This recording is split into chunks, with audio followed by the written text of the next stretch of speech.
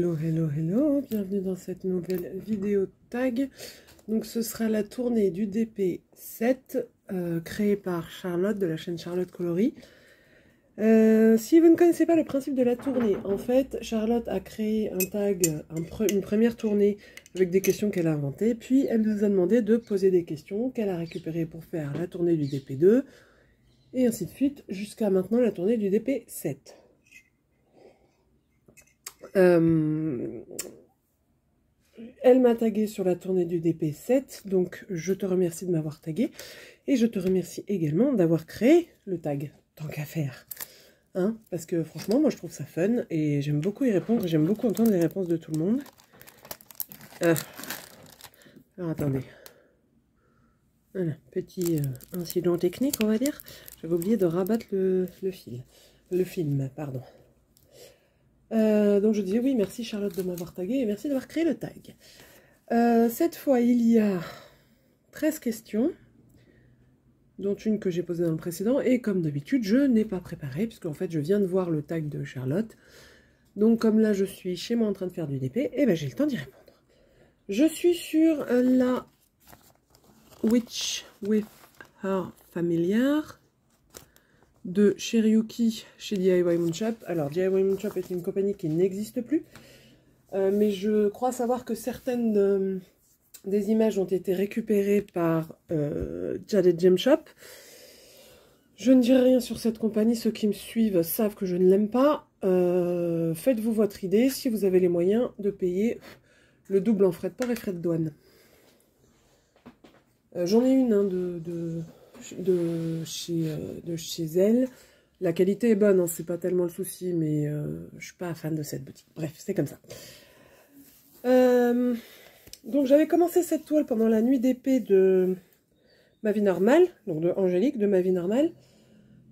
alors en fait, comme je l'avais je préparé sur le début de la nuit et commencé, bah, j'avais pas fait beaucoup.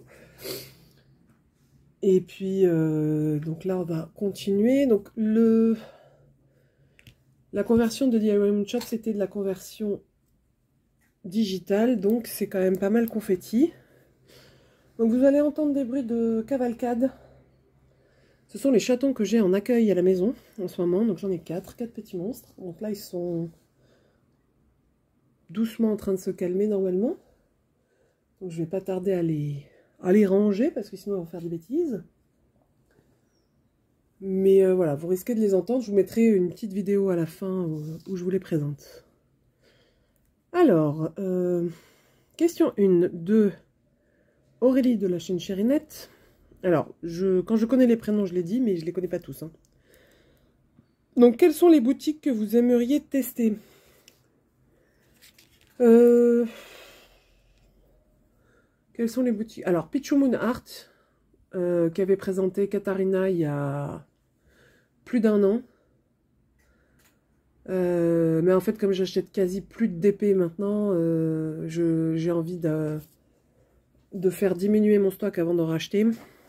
Bah du coup, du coup forcément, pour l'instant, j'ai pas encore racheté. Mais à, à tester, celle-ci a l'air pas trop mal.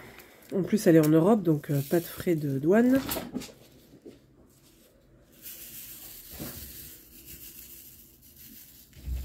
Euh, sinon,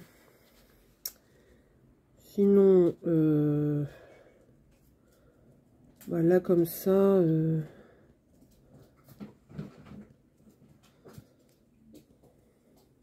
En fait, j'y vais moi surtout en fonction des, des illustrations qui sont présentées. Est-ce qu'il y en a que j'ai envie d'avoir ou pas? Euh, Il faudrait que je reteste euh, mais... Euh, parce que moi j'ai testé au tout, tout, tout début de la compagnie et c'était pas probant. Il faudrait que je reteste, sauf que j'ai pas...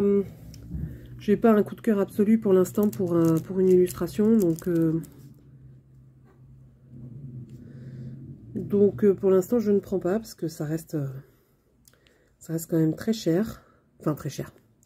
Ça reste un budget et que pour l'instant, je n'ai pas. Enfin, que pour l'instant, je mets ailleurs, on va dire plutôt. Donc, euh, Ouais, on va dire Peach Moon Art. J'essaierai de me rappeler de vous mettre le lien en barre d'infos.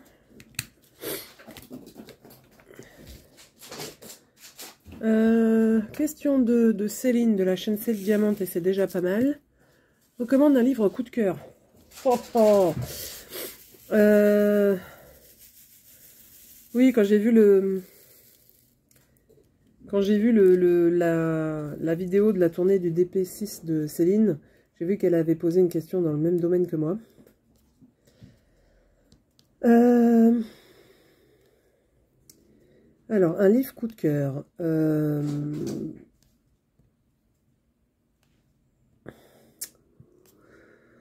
dans le domaine de la jeunesse, il y a euh, Virus à 3 la mort des livres de Christian Grenier qui est un bouquin que j'ai énormément recommandé à la fois à ceux qui n'aiment pas lire et à la fois à ceux qui adorent lire.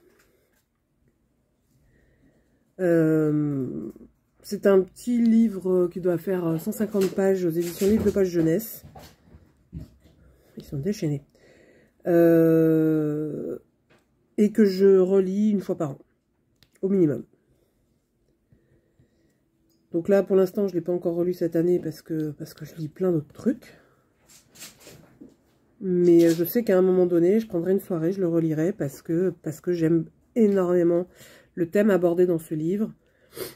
Euh, que j'aime beaucoup les personnages et que j'ai toujours aimé euh, cet auteur-là. Que j'ai découvert très jeune d'ailleurs. Euh, moi, je l'ai découvert avec sa série sa série de romans policiers pardon, pour enfants. Alors que je suis pas très polar, mais bon. Et celui-ci, en fait, euh, on est dans un futur euh, hypothétique où les lettrés ont pris le pouvoir et où il faut un, permis pour s'exprimer en public. Donc en public, c'est plus de trois personnes. Ou quatre, je sais plus. Bref. Et on a l'héroïne qui, elle, est auteur, euh, mais qui n'a jamais réussi à obtenir son, son permis, alors c'est... Euh, je ne sais plus exactement comment il s'appelle, mais bref, elle n'a jamais eu son permis.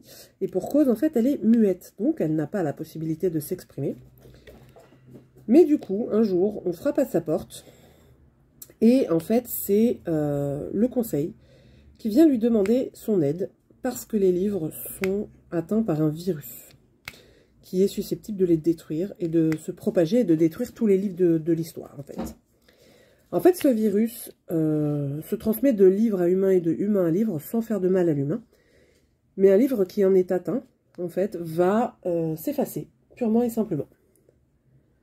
Sauf que, si humain, vous lisez un livre qui est atteint du virus ou que vous êtes porteur du virus, vous rentrez dans le livre et vous devenez un personnage du livre. Et au fur et à mesure que vous vivez l'histoire, vous l'effacez. Donc, les lettrés ont évidemment peur de ce que ça peut donner, et vont demander à l'héroïne de, euh, trouver l'antidote, de trouver l'origine et éventuellement de trouver l'antidote. Et donc on est parti au cœur du pari euh, hypothétiquement futuriste euh, pour trouver l'origine du virus et de, quoi le, de quoi le contrer. Et sinon, il y a aussi en jeunesse... Euh, qu'est-ce qu'il y a d'autre en jeunesse? Euh, Non, bah, on va pas faire de jeunesse. Euh, alors, fantasy asiatique, enfin, dans un univers un peu asiatique, fille de l'Empire, père de l'Empire, maîtresse de l'Empire par Jenny Wurst et Raymond Feist chez Brajlon ou chez, je crois, Pocket en poche. Je sais plus si c'est Pocket ou autre chose. Bref. Euh, on est dans un univers de caste, donc euh, qui ressemble énormément au Japon médiéval, voire à la Chine médiévale. D'ailleurs, plus à la Chine, je pense. Euh, et dans cet univers, en fait, c'est extrêmement codifié. On est persuadé que si on est en bas de l'échelle sociale, c'est qu'on a été, on a été puni pour ce qu'on a fait dans une autre vie. Donc en fait, il n'y a pas de révolte, il n'y a pas... Les croyances religieuses font que bah, euh, les, pauvres, les esclaves, tout ça ne se révoltent pas parce qu'ils sont persuadés d'avoir euh, d'avoir mérité en fait leur place dans la société. Et on va suivre une jeune fille qui s'appelle Mara, en fait, qui au tout début de l'histoire est euh, prête à rentrer dans les ordres, en fait, rentrer au temple. sauf que juste avant la, fin de la cérémonie qui va consacrer sa vie à la déesse de la sagesse, elle va être euh, appelée pour remplacer son père et son frère euh, à la tête de sa maison, donc de sa famille. Ils ont été tués au combat, donc des combats de, de clans. Hein. Et elle va devoir reprendre la tête de sa famille. Et c'est là que la galère commence, parce que c'est un livre qui, où y a, enfin, c'est classé en fantasy parce que c'est un monde qu'on ne connaît pas, qui est euh, imaginaire, mais il n'y a pas tant de magie que ça. Et c'est pas tellement ça le propos. Le propos, c'est plus, euh, plus un propos social et politique, avec énormément d'intrigues, énormément d'espionnage, de d'escarmouches, pas tant que ça de grandes guerres euh, fratricides. Bah, merci Milka, hein, voilà. Euh, c'est vraiment euh, des jeux d'intrigue et à qui sera le plus malin. Et c'est très très très bien écrit. Et j'adore cette série. Et la fin est purement jouissive. Vraiment, j'adore cette saga-là. pour adultes, je crois que c'est un de mes, une de mes histoires euh, favorites ever. À tel point que je l'ai en 5 exemplaires différents. Enfin, je l'avais en 5 exemplaires différents avant de déménager. mais bon, bref. Euh, et, vraiment, ça, j'ai adoré. En plus, euh, j'en ai, j'ai une version qui est dédicacée par l'auteur, enfin un des auteurs, et par l'illustrateur. Après, j'en ai plein hein, des coups de cœur, euh, parce que je lis tellement, et j'en ai tellement lu dans ma vie que... voilà, il y a tellement, tellement, tellement de romans que j'ai lus et appréciés que ça risque d'être compliqué et très long. Mais voilà, en adulte et jeunesse, euh, voilà mes, mes deux préférés. Alors moi, je suis quelqu'un qui aime beaucoup, beaucoup, beaucoup, beaucoup les univers imaginaires. Que ce soit fantasy, science-fiction, fantastique, steampunk, cyberpunk, tout ça, je, ce que vous voulez, je m'en fiche. Euh, l'imaginaire, c'est mon truc. Parce que moi, pour moi, la lecture est un moyen d'évasion. Donc, euh, donc forcément, l'imaginaire, ça m'aide. Alors, je vous abandonne deux minutes, je vais ranger les monstres et je reviens. Voilà, les monstres sont rangés et je vous donne un petit aperçu de ma bibliothèque. Quand je vous dis que j'aime lire, voilà. Et encore quand j'ai déménagé, euh, j'ai beaucoup beaucoup euh, épuré. Alors, euh, on va pas non plus trop s'étaler parce que je sais que moi j'ai posé une question aussi sur les livres. 3. Euh, Avez-vous craqué pour le Pixel Hobby? Allez-vous en accrocher sur le mur de Kiku Non, je n'ai pas craqué pour le Pixel Hobby au grand désespoir de Jess, euh, de la chaîne Monde Coloré de Jess. Parce que, parce que, parce que trop cher. Et parce que je sais très bien que ça va me plaire et que si ça me plaît, ça va être une catastrophe budgétaire. Donc, pour l'instant, je n'ai pas craqué. Euh, ça la désespère d'ailleurs, puisqu'elle voudrait... Elle voudrait vraiment que je craque et que et qu'on puisse, euh, enfin, et que, et que, enfin, savoir qu'elle m'a converti, quoi. Alors, attendez. Voilà. Euh, donc non, je n'ai pas craqué pour le Pixel Hobby et euh, c'est pas prévu pour l'instant parce que c'est quand même très très très très cher. Là pour le coup, avoir un modèle qui me plaise vraiment me coûterait vraiment les yeux de la tête. Et, euh, pour l'instant, euh, j'ai pas un budget euh, suffisamment étendu en loisirs créatifs pour pouvoir me payer un pixel hobby, donc non. Je préfère encore une fois aménager ma maison plutôt que de dépenser 300 euros dans un projet de pixel hobby. Parce que, parce que j'en ai un peu marre de vivre dans les cartons. Euh, question 4 de Lorraine de la chaîne Diamant et Strass. Est-ce que vous aimez faire des, objets en diamond painting? Euh, Alors oui, mais c'est pas... Euh, c'est pas ce que je préfère faire. J'aime bien en faire un de temps en temps. En fait, j'aime bien avoir un petit projet à diamants spéciaux en stock pour quand j'ai envie d'en faire. C'est plutôt rare. Euh, là, par exemple, j'ai fait le plein... il y a quoi Il y a 2-3 mois, deux mois Peut-être deux mois. de toile de, DP en diamants spéciaux. J'avais un objet que j'ai fait. C'était une sorte de petite plaque en plexi euh, qui représentait un, petit oiseau bleu. Euh, euh, voilà, ça me prend, allez, on va dire deux fois par an de faire un objet. Je trouve ça sympa, mais c'est pas, pas forcément ce vers quoi je vais. en premier. mais, mais, je trouve ça rigolo. Après, le truc, c'est que j'aime bien les faire, mais mais ça n'a pas forcément euh, une utilité folle une fois qu'on a 250 sous-verts, 12, 12 étuis à lunettes. Euh... Aussi, il y a les carnets éventuellement que je pourrais avoir en 200 millions d'exemplaires. Mais bon, après, y a, les modèles ne me plaisent pas forcément des masses. Et moi, les carnets, je les préfère pointillés plutôt que lignés. Donc euh, forcément, vu qu'il n'y en a pas en DP, ça n'aide pas. Euh, question 5. Oui, c'est ça. De, fil en aiguille, euh, quel artiste de chez DAC préférez-vous? Oh, question piège. Vous savez quoi? Je vais tricher et je vais aller voir les artistes qu'il y a chez DAC, parce que sinon je vais pas m'en sortir. Diamond Art Club. Alors... Euh,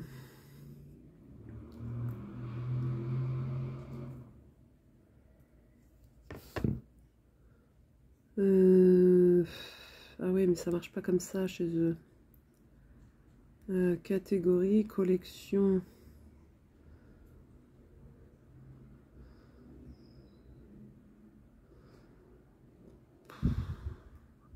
Il n'y a pas par artiste. Alors, il y a Yume Art. Alors, j'ai vu que Charlotte avait fait un top 3, donc je vais faire pareil, parce que pareil, choisir un, seul artiste, euh, c'est compliqué. Euh, c'est pas forcément dans l'ordre de mes préférences, mais il y a Yume Art. Euh, Randall Spangler. Alors, Yume Art, pas pour les... Pas pour les Ghibli. Euh, mais pour ces toiles plus engagées, plus poétiques, plus... Ces toiles à message. Alors, j'aime beaucoup hein, les Ghibli. Hein. J'en ai, j'ai acheté plusieurs images, dont d'ailleurs la Kiki, la dernière, je crois, qui est sortie chez DAC. Je l'avais acheté il y a plus d'un an maintenant pour la faire faire euh, sur AliExpress. Donc, je n'achèterai pas celle de DAC, du coup. Hein. Euh, mais du coup, j'en ai, plusieurs. Je lui ai acheté six images, je crois. Je pense que je lui en rachèterai d'autres euh, bientôt. Euh, mais moi, je préfère ces toiles à message, enfin ces images, ces illustrations à message.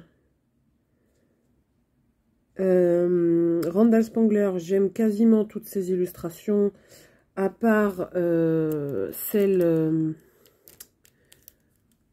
celles qui ne concernent pas les dragons. Il n'y en a pas beaucoup, mais il y en a quelques-unes où, où c'est pas dans l'univers des dragons et du magicien. Euh, Celles-ci me plaisent moins. Même si elles me plaisent, elles me plaisent moins. Et sinon, euh, Mandy Manzano. J'aime beaucoup, beaucoup, beaucoup Mandy Manzano.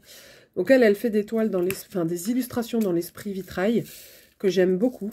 Euh, et en plus, euh, elle, est dans les univers, elle est dans l'univers Disney et aussi pas mal dans l'univers historique.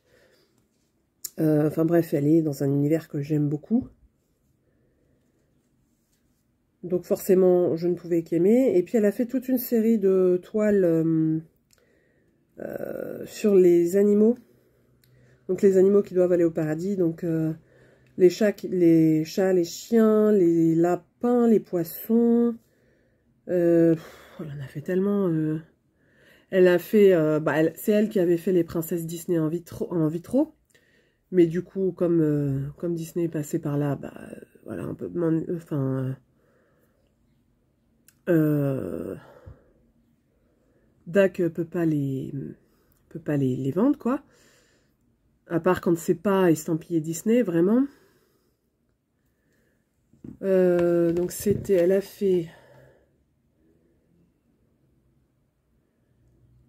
euh, les chevaux, les chiens, les chats, les poissons, les oiseaux, les lapins.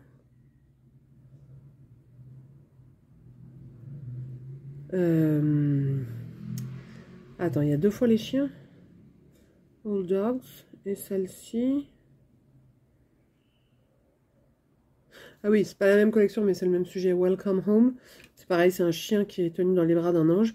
Moi, j'ai acheté celle sur les chats, évidemment. Hein. Mais je pense que j'achèterai aussi celle sur les chiens parce qu'elle est vraiment très jolie et plus dans mes, plus dans mes couleurs, en bleu, etc. Celle sur les lapins est très très belle aussi. Et euh, j'avais commencé euh, la Elisabeth, qui est une, c'est pas une nappe là, c'est carrément un rideau. Euh, non, oula. Mais pour l'instant, je suis pas en... Je, reviens pas vers celle-ci, mais ça va pas tarder, je pense.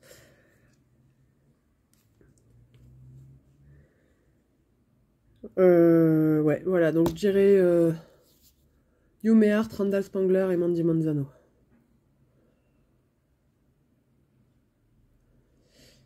Ensuite, moi, quel est votre livre préféré sur cette année? Question 6. Alors attends, parce que sur cette année, j'ai dû en lire une trentaine, facile. Donc je vais aller regarder. Qu'est-ce que j'ai lu cette année? Alors j'ai lu La Meute de Cloverly, donc c'est une série de d'homo-romances euh, euh, fantastiques, puisqu'avec des loups-garous, que j'ai bien aimé, mais c'est pas ma c'est pas ma lecture préférée.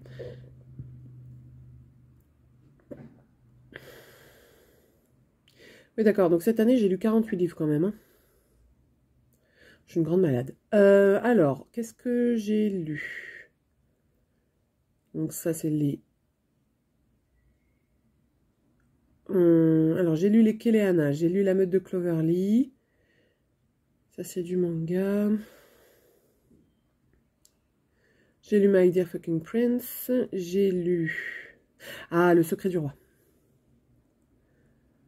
Le secret du roi de Marie Valente aux éditions Brajlon. Donc euh, oui, ce, titre avait tout pour me plaire. Euh, c'est euh, donc le secret du roi, c'est un cabinet secret qui est composé de personnes triées sur le volet par le roi et son conseiller, donc le roi Louis XV, pour s'occuper des affaires surnaturelles en France. Alors, au début de l'histoire, le roi Louis XV fait euh, fermer le cabinet du secret parce qu'il a perdu dans une affaire particulière ses agents et qu'il ne supporte pas que ses sujets se sacrifient pour lui. Du coup, il fait fermer le cabinet du secret, mais il va être obligé de le, rouvrir quelques années plus tard parce que des, des gens commencent à mourir dans Paris et surtout les cadavres sont volés voire ceux qu'on récupère, enfin ceux qu'on récupère sont affreusement mutilés et on ne comprend pas pourquoi. Donc il va engager Hippolyte Darcy pour euh, faire partie du secret et résoudre cette histoire. Et c'est là que ça commence à partir en couille, tout simplement. Alors franchement, moi, de l'historique avec du fantastique, ça pouvait que me plaire. C'est une évidence. Donc dedans, on a des loups-garous, on a des vampires, on a des, bestioles bizarres, on a des créatures infernales. C'est franchement très très sympa. J'ai adoré. Et là, je viens de m'acheter le tome 2, et, euh, parce qu'il est sorti de coup en avril. Donc je viens de m'acheter le tome 2, et je pense que je vais me jeter dessus une fois que j'aurai fini le Pont des Tempêtes, qui est en passe de devenir un de mes coups de cœur de cette année, mais comme je ne l'ai pas fini, je ne peux pas le dire. Donc euh, pour l'instant, je suis tout à fait d'accord avec toi, euh, Charlotte. Le pont des tempêtes, c'est trop bien. Le... Les mémoires de la forêt, c'est très très très très très bien aussi. Hein. Mais il y en a d'autres. J'aime beaucoup le, Les Mémoires de la forêt, mais je l'ai lu l'année dernière. Donc, c'est pas mon coup de cœur de cette année. sinon, cette année que j'ai adoré aussi, c'est Sixteen. Alors, moi qui n'aime pas les polars, pour le coup, ça c'est très particulier. Donc Sixteen, on va suivre un certain nombre de personnages en rapport avec euh, l'Égypte antique. Donc ça se passe euh, dans, notre monde, à notre époque, il euh, n'y a aucun souci. Et on va suivre plusieurs personnages. Donc on va suivre un étudiant en architecture qui se passionne pour la grande pyramide de Khéops. On va suivre une journaliste de la BBC qui voudrait faire son trou avec des reportages des reportages euh, plus impressionnants que de faire euh, un reportage sur la Grande Pyramide, mais qui va se retrouver au cœur d'une histoire un peu particulière. On va suivre un policier qui se, un policier égyptien qui essaye de dépatouiller une affaire euh, très particulière, tout en gardant son poste et en évitant les hautes sphères politiques. On va suivre un détective privé et enfin, et surtout, on va suivre une jeune femme qui, euh, aux côtés d'un homme euh, qu'elle a récemment épousé, va se retrouver dans la grande pyramide de, de Khéops. Euh, en fait, elle et son mari ont disparu un mois plus tôt et sont retrouvés dans la grande pyramide de Khéops dans une chambre secrète qui n'est connue de personne apparemment. Sauf que son mari est mort, qu'elle est à l'article de la mort et que tout le monde pense, y compris les médecins, qu'elle ne survivra pas. Eh ben, c'est mal la connaître, elle va survivre. Elle va survivre, euh, mais elle va garder de son passage dans le monde des morts quelques capacités et quelques des traits de caractère très particuliers. Et en fait, elle va essayer de découvrir ce qui s'est passé, qui a essayé de l'enfermer, pourquoi. Et surtout de se débarrasser de, des restes du voile du monde des morts qui la poursuivent et qui lui font faire des cauchemars. C'est vraiment, vraiment très très sympa. Donc là, j'ai fini le premier. Il y a six volumes. Je pense que je vais euh, m'attaquer au deuxième aussi cette année. Probablement les trois premiers cette année. Et puis on verra pour, le, pour les autres euh, ce que j'ai le, temps de, lire cette année ou pas en fait. Question suivante. Alors. 7. Euh, si vous gardez... Si, l'univers de Letty. Si vous deviez garder une seule compagnie de DP, laquelle serait-elle? Euh, Ce serait DAC. Euh, si DIY Moonshop avait encore, été encore ouvert, j'aurais choisi DIY. Parce que je préférais les illustrateurs de... Enfin, les illustrations présentées par DIY, même si j'aime beaucoup celles de DAC. Euh, mais bon, DIY Moonshop euh, a disparu. Donc ce serait DAC. Euh, après, je suis loin d'avoir testé toutes, les, toutes les compagnies de DP. Mais je constate que je reviens quand même beaucoup vers certaines. Donc quand c'était encore ouvert, il y avait DIY, DAC. Et voilà. Et après, c'était des, des persos faits sur AliExpress. D'ailleurs, sur AliExpress, je garderai Home Fun parce que c'est moins cher que euh, Evermoment, mais uniquement pour les persos. Mais si on parle de compagnie licenciée, ce serait euh, DAC. DAC pour la qualité, pour la, hum, diversité des, illustrations proposées, pour les licences aussi, euh, parce que les artistes licenciés, c'est très très bien. Mais il y a aussi des licences, Harry Potter, Marvel. Euh, il y a quoi? Il y a hum, Bob l'éponge. Euh, il y en a plein des licences de DAC. Et je trouve ça assez sympa. Après, bon, c'est des toiles qui sont chères, forcément, parce qu'on paye la licence. Surtout Harry Potter, ça coûte un bras. Je trouve que les toiles Marvel coûtent un peu moins cher que les toiles Harry Potter. Bon, il faudrait encore que je puisse m'en acheter, mais bon. Je voudrais m'acheter la Loki et la Iron Man. Et la... Hum, comment elle s'appelle? Euh, Doctor Strange. Mais bon, un pas à la fois. Euh, tchouk tchouk tchouk.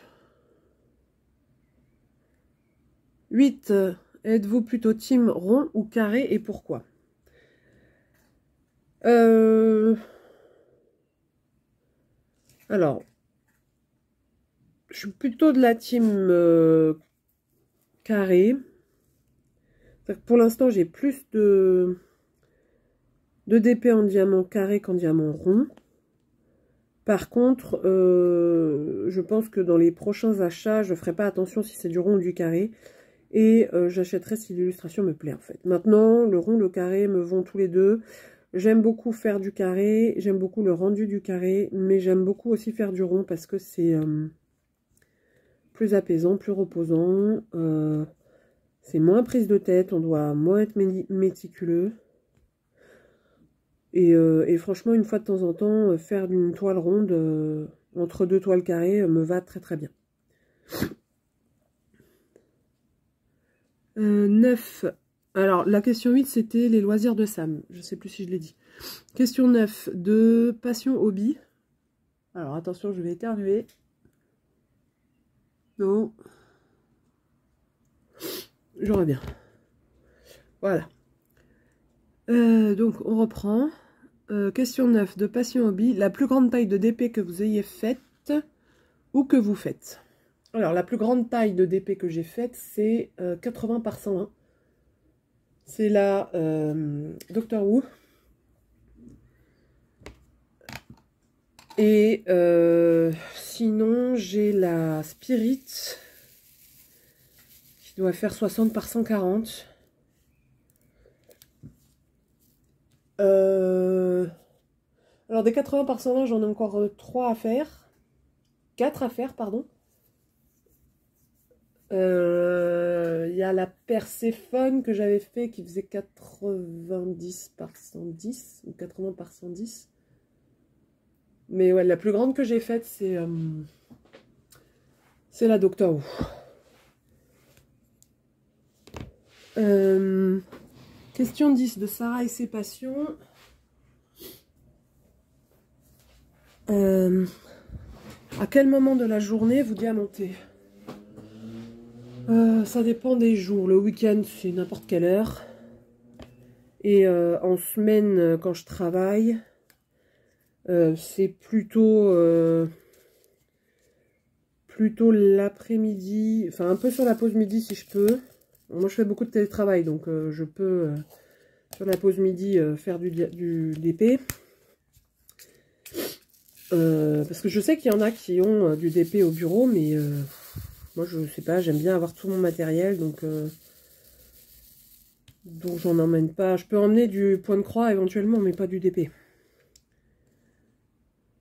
donc oui, plutôt sur la pause de midi et l'après-midi et le soir. Genre là, il est 19h30. Euh, bon, j'ai un peu dormi toute la journée aussi, mais... Euh,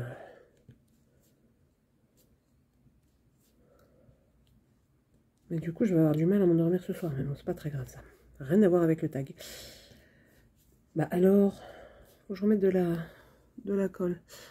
Euh, question 10. non, pardon. Question 11 de Color Creative Book.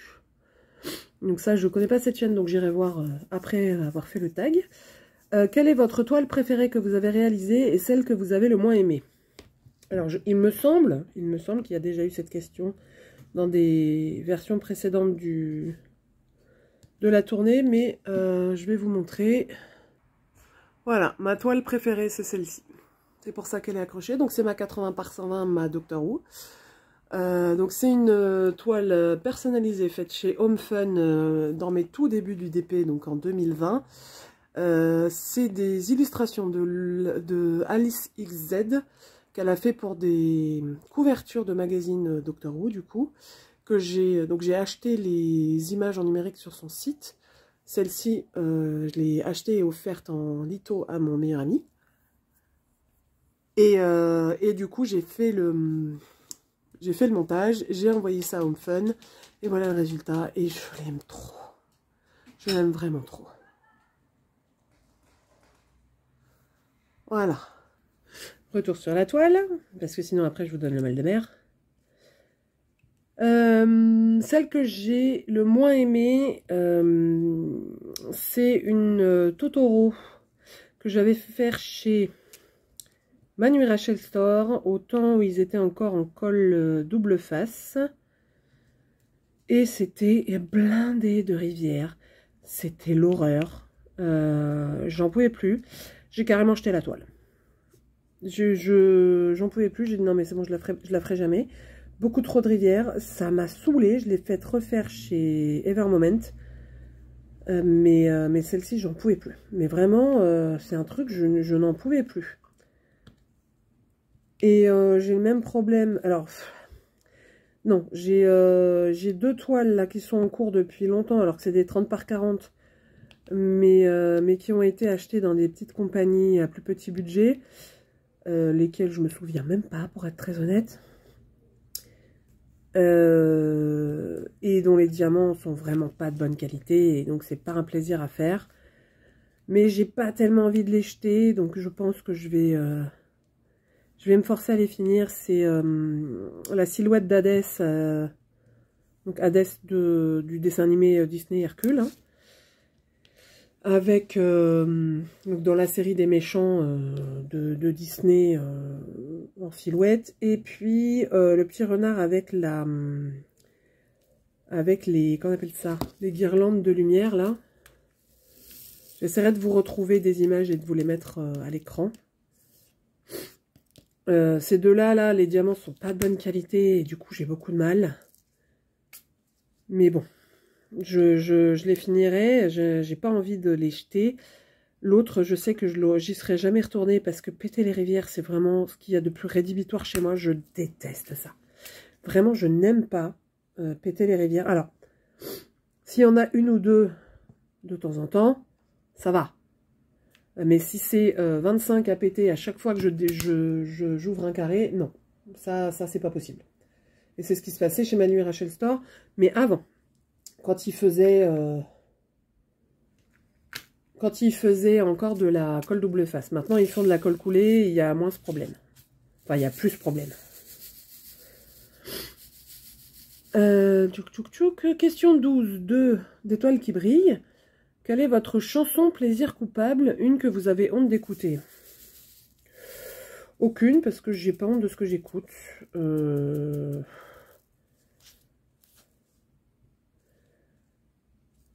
franchement, euh,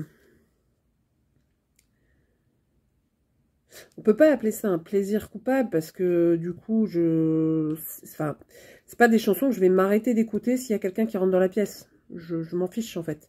Par exemple, je peux écouter du Claude François, je peux écouter euh, euh, du To Be Free parce que c'est mon adolescence, je peux écouter des génériques d'animés peux écouter tellement de trucs. Mais en fait, c'est...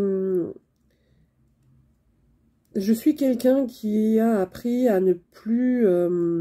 ne plus prendre en compte le regard des autres quand c'est pas quelque chose qui est euh, essentiel. C'est-à-dire que la musique que j'écoute, euh, ça ne regarde personne.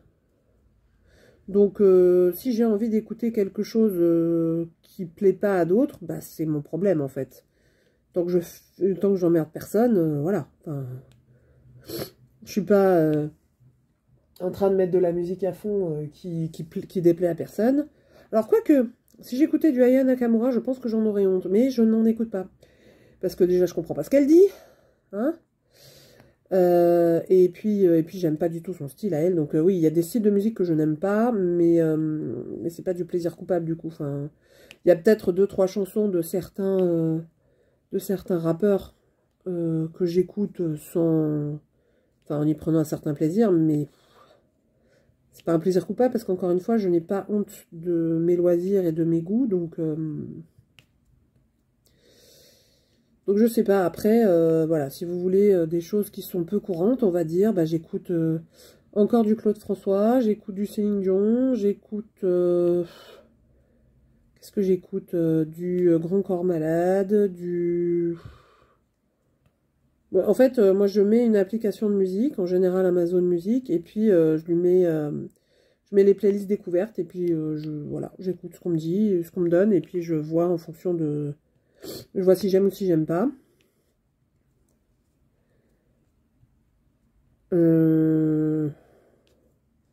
Voilà. Musique, moi je suis euh, enfin voilà, j'écoute ce qu'on me dit d'écouter, ce qu'on me propose en fait. Puis après, si j'aime, je continue. Si j'aime pas, bah tant pis, j'arrête. Question 13 de Clara DP. Dans votre stock de toiles pas faites, séparez-vous les diamants des toiles? Alors, euh, en partie, c'est-à-dire que euh, avant que j'arrive dans cet appartement, j'avais pas forcément énormément de place. Du coup, je pouvais pas garder les boîtes euh, des, DP euh, style Diamond Art Club, etc. Donc oui, je séparais. Donc j'ai encore tout un stock de diamants qui sont séparés de leur toile.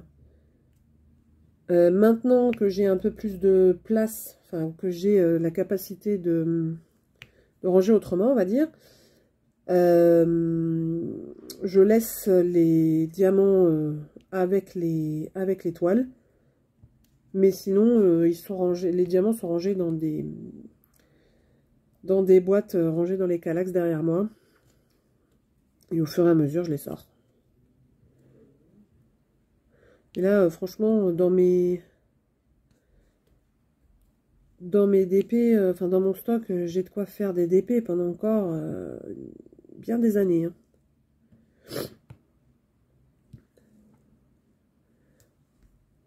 Voilà, c'était la dernière question. Donc ensuite, euh, il faut que je pose une question. Et évidemment, je n'ai pas réfléchi. Euh, je vais réfléchir et je reviens. Hein. J'ai trouvé.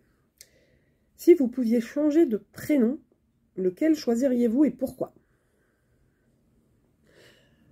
Euh, dans ce que... Alors, donc ça, c'est la question que je vais poser. Et après, il faut taguer des personnes. Donc, je vais taguer Katharina, de la chaîne KitKat Diamond Painting.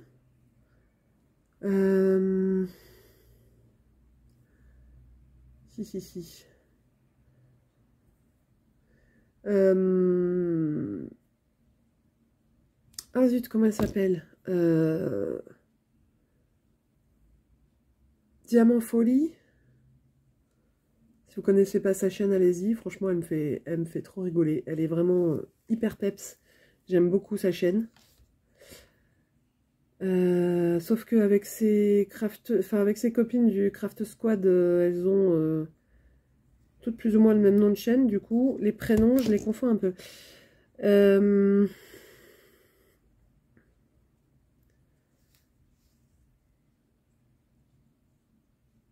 Ouais, euh, Diamant Folie.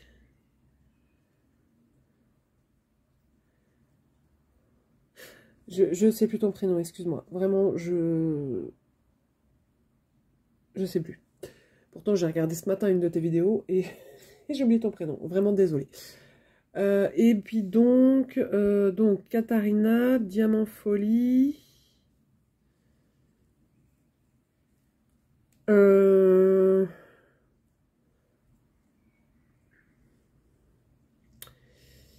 Qui d'autre? Je suis en train de regarder les chaînes sur lesquelles je suis abonné, mais... Euh... Sarah et Clara, elles, ont... elles sont déjà dedans. Et eh ben Isabelle de Tea Time Fix. Peut-être que... Ça pourrait être drôle que tu répondes aux questions. Et puis si vous ne connaissez pas sa chaîne, allez-y. Moi, je l'ai découverte euh, pendant le confinement. Elle habite à Londres, une Française expatriée. J'aime beaucoup ce qu'elle fait. Et euh, en ce moment, elle est plus point de croix que DP, même si elle a repris quand même pas mal de DP. Mais ouais, ça pourrait être drôle, Isabelle, si tu pouvais, euh, si tu répondais à, ces, à ces questions.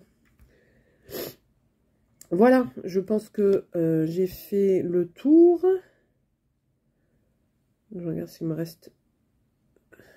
Bon, évidemment qu'il va m'en rester, mais... Euh, mais que je vais les voir après, hein, sinon c'est pas drôle. Donc sur ce, je vais vous souhaiter une bonne fin de journée, où que vous soyez dans le monde, et vous dire à tout bientôt dans une nouvelle vidéo. Bye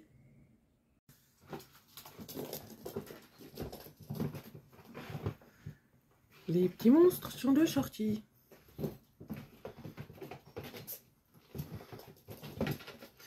Si vous avez des chatons, le donut, c'est une invention géniale. Ils adorent. Donc là, celle qu'on voit, c'est Nesta. Ici, c'est Riz. Là, c'est Feira, qui fait des bêtises.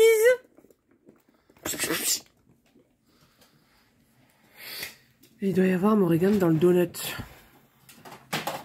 Ah. Ah, Morrigan, elle est dessus maintenant.